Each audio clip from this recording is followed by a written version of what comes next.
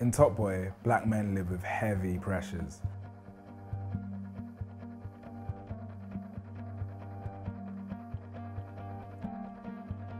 Many of the men in the series are sweeping up the pieces of shattered families, feeling their way through life in the city's most deprived estates.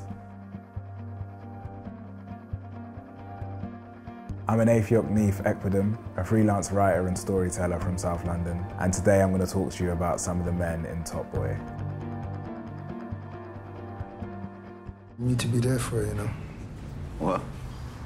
Dads, to be there for their daughters, man. Top Boy is full of tired men eager and anxious about providing for and protecting their young children. Among the high drama of their lives, where they risk freedom for quick wins, they are haunted by the fear that their efforts aren't enough, that the money they bring in is not enough, that as men, they are not enough. That right there's my little girl. When her daddy comes home, that little girl needs to be standing in front of a hero. Not a fucking con in prison stink. Sully is no different. Because he was in jail, he was absent while his daughter grew up, and is now weighed by pressure to present himself as a hero upon his return. That's all I am right now.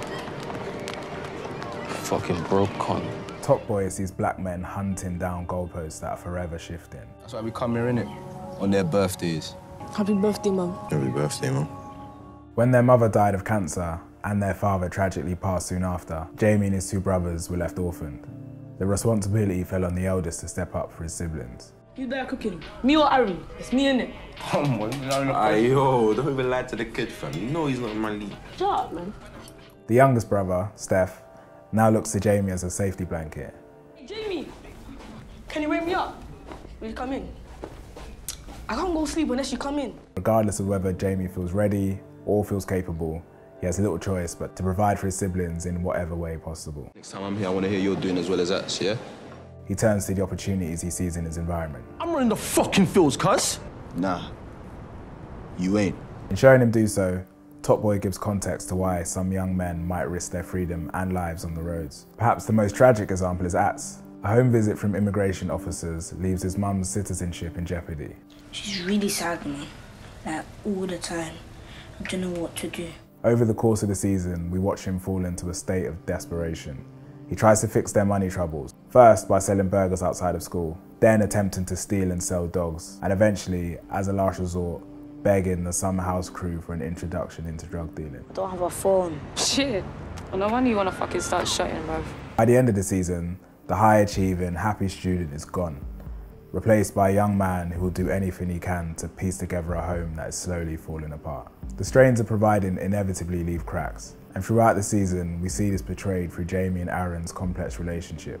You ain't my dad, bro. Yes, I am. No, you're not. See me, I'm your father, yeah? I'm your mother, I'm your older brother. Top Boy shows that these are the frictions that arise when a son is turned parent too soon, when a boy becomes man too early, when the innocence of youth is stripped away without warning and he's left alone to stare down the anxieties of adulthood. Brothers, though, right? Yeah, man. There was no rulebook left for Jamie that taught him what it means to be a father. He's learning as he goes, feeling his way through the world with no guidance and no role model. The only signposts to parenthood he has are the striking traits he remembers in his parents, the resilience he recalls in his mum, and the authoritative tone that radiated from his dad. Both are attributes he feels he now must embody. I'm so proud of you. Meanwhile, Dushane is chasing shadows of his own. 36 years old. I ain't got no woman, no kids, fucking sleeping on Dris's stinking sofa. Tortured by his past glories and perceived triumphs, Dushane's obsession with reaching the top is one that eventually corrupts his character and adds a bleak ruthlessness to his nature. Fucking won. What does it matter? I did what I had to do to get us back on top. And that's what a fucking leader does. But at what cost? By the end of the season, he loses almost all that he loves. His cousin rests in a grave, his mum refuses to see his face, and he has wrecked the trust of his only remaining friend. Just because we didn't lose doesn't mean we won. They are all collateral damage of Dushane's frustration, the harsh reality that he's a man who's reached 36 years old with little to show for it. But these characters are not defined solely by their quiet fears of appearing less than men. Top Boy also finds space for powerful moments of intimacy and release. See, your man was in jail and that, and you were shouting me. Like, respect for that. Got you, bro. Just like how you've always had me, man. These spaces are both literal and symbolic. Sully finds solace in Jason, opening up to his friend when they briefly leave the chaos of East London behind and arrive in an English seaside town. You know, I've never even seen the sea before. I never left the fucking country. I'm 35 years old, I never left the country. Imagine that. With Jason, Sully unburdens and feels secure enough to lay himself bare. The town gives a sense of isolation, a reprieve from the relentless nature of the big city. And at times, while down in Ramsgate, the mask he wears for his daughter briefly disappears, and it's as if he's fallen back in time. He becomes just a kid messing around with mates on the beach. I swear I'll knock one of you fuckers out. You guys You fucking idiot. You, you, you, shit. Alright, alright, it's cool. It's a long, deep exhale for one of Top Boy's most tormented individuals. One that reframes his character, sheds free the fears that surround emotional intimacy, and instead displays a sense of freedom that emerges when space is found for vulnerability.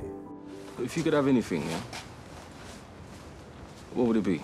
You know what? To go watch Arsenal play. Because they're the best fucking team in the whole Premier League. In a similar fashion, Kit is a release valve and a gentle letdown at Jamie's lowest hour.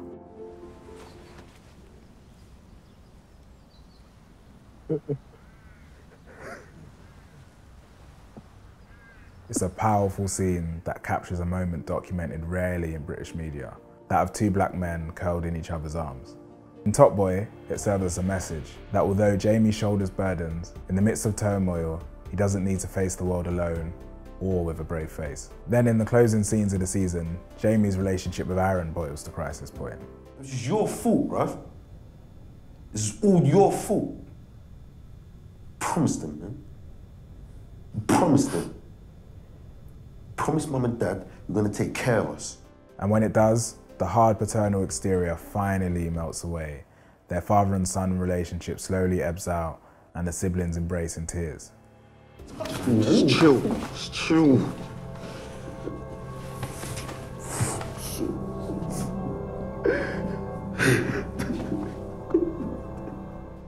In their darkest hour, they find comfort and purge in each other's arms. It's a bittersweet new beginning for a difficult brotherhood, and a revealing peek into what occurs when boys are unknowingly thrust into the role of providers. In all, Top Boy is a glimpse into the crises that can fray and mend the relationships between men and those who they love most dearly. It's a vivid depiction and an intense exploration of the pressures of male adulthood in Black Britain and beyond.